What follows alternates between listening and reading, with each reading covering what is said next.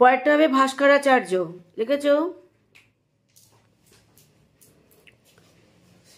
Was born এক নম্বর point was born কবে AD add was born time R place was born time কি AD one one one four আর place Vijjalvada, Vijjalvada.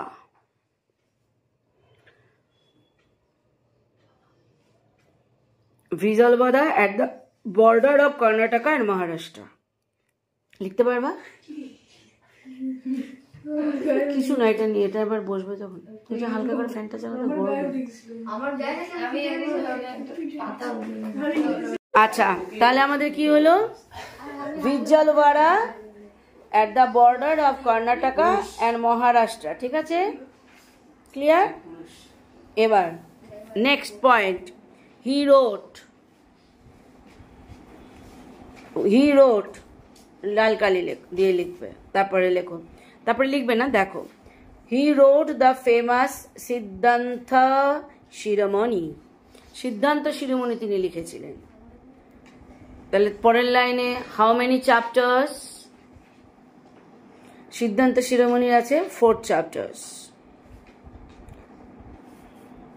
Next point এক line বাদ দিয়ে হি dealt with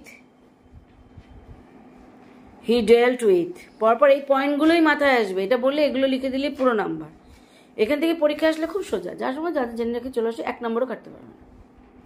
তাহলে কি হবে? He dealt with astronomy and algebra লিখতে পারবে? দুটো লাইন ছেড়ে লেখো he is known to be he is known to be he is known to be the first recognised mathematician who evolved evolved value to zero from the concept based on Aryabhatta's discovery. তার মানে আর্যভট্ট যে zero discover করেছিলেন, তার, সেটা এই ওটার মধ্যেও evolve হয়ে সেটাকে আরও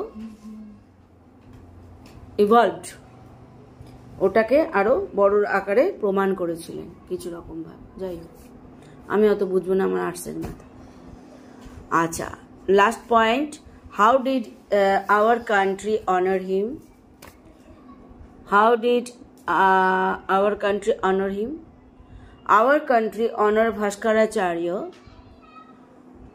To honor him, ISRO's second series of satellite was named Bhaskara 1 and 2, 1979 and 1981. তাহলে তোমার নিচে পরপর পর লেখো নাইনটিন সেভেন্টি ফাইভ আর্যভট্ট ওটা হচ্ছে প্রথম স্যাটেলাইট সেকেন্ডটা হচ্ছে Bhaskar one Bhaskara one nineteen seventy nine আর তারপরে নাইনটিন এইটি ওয়ান ক্লিয়ার